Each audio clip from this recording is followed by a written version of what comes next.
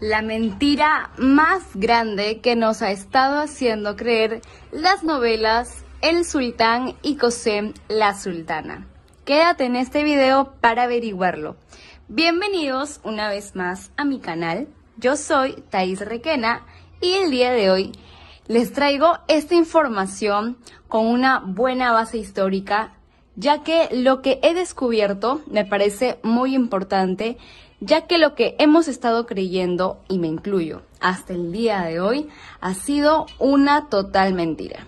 Estoy segura que algunos de ustedes seguramente ya lo sabían, porque me he dado cuenta que muchos de mis suscriptores están muy bien informados acerca de la historia del Imperio Otomano y los felicito.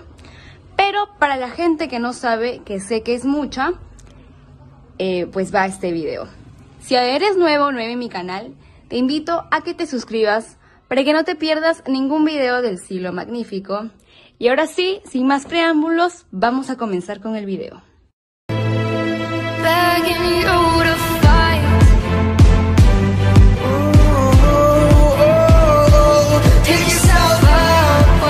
Voy a comenzar mencionar la mentira en la que todos hemos estado creyendo hasta ahora para luego pasar a desmentirla y explicarles cómo fue realmente la historia. Todos estamos convencidos que una mujer esclava que entraba al harem y le daba un hijo varón al sultán, automáticamente pasaba a ser una sultana. También hemos visto que las hijas del sultán pasaban a ser sultanas, es decir, tenían este título.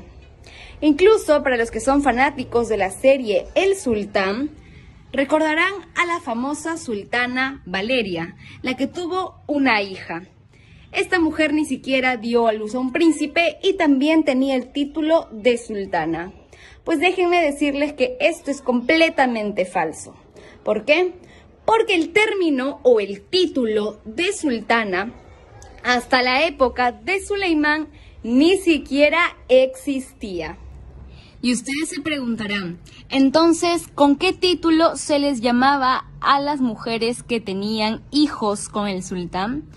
Pues el título más alto que podían alcanzar, una concubina, es el de Kadin. No existía Haseki, no existía consorte, no existía sultana. De hecho, el sultán Mehmed le da el título de sultana a su hermana para darle un realce dentro del imperio. Ni siquiera su madre tenía ese título, solo la hermana. Entonces, Pasa el tiempo y llega el sultán Suleimán el Magnífico, el cual le da a su madre, la sultana Hafsa, el título de Valide Sultán. Este título es completamente nuevo, ya que anteriormente las madres de los sultanes tenían tan solo el título de Valide Hatun. Como ya sabemos, Suleimán el Magnífico se casa con Hurrem, entonces, al casarse con ella, el sultán Suleimán le da dos títulos, no solo uno, sino dos. El de Haseki, que significa esposa del imperio, título completamente nuevo que ninguna mujer anteriormente había tenido jamás, y el título de sultana. Es por eso que cuando anunciaban a Hurrem se le decía con el título de Hurrem Haseki Sultan o Haseki Hurrem Sultan. Este título que tenía Hurrem la hacía más importante y le daba un rango de superioridad dentro de la corte otomana, estando solo por debajo del sultán y de la valide sultán, que vendría a ser la madre de Suleimán. Esto también nos da a entender que la sultana Hurrem estaba por encima de las mismísimas hermanas de Suleiman. De hecho, también hice un video acerca de esto, ya que en la serie se ve a Hurrem que le hace reverencia a las hermanas, que si aún no lo has visto, te lo dejo aquí arribita para que lo vayas a ver. Entonces, como decía, la sultana Hurrem estaba por encima de las hermanas del sultán, ya que ellas ni siquiera tenían el título de sultanas. Tampoco lo tenía su hija Mihrima, ya que la única, o bueno, las únicas que tenían el título de sultanas fueron la madre de Suleimán y su esposa, la sultana Hurrem. En la serie también se nos hace creer que Maidebran era la primera sultana por ser la primera consorte de Suleimán y darle su primogénito, pues esto es completamente falso. Ella tan solo tenía el título de Kadin. Ahora, el título de Haseki Sultán llegó hasta la sultana Nurbanu. Después de ella, este título fue totalmente degradado, ya que las mujeres que tenían hijos con el sultán automáticamente tenían el título de Haseki Sultán, sin ni siquiera casarse con el sultán.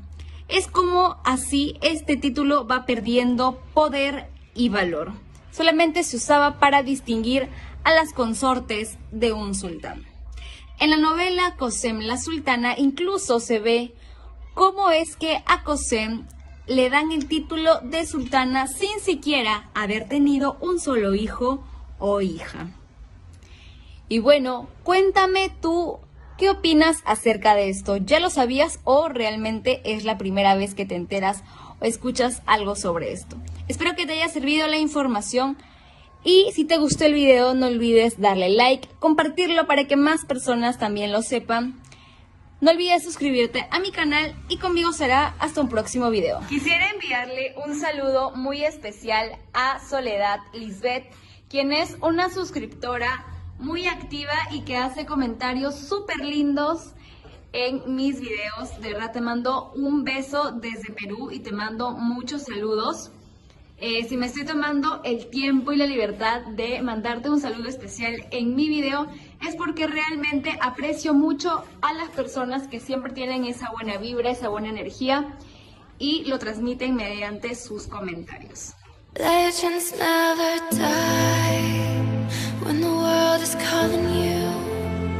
Can you hear them scream?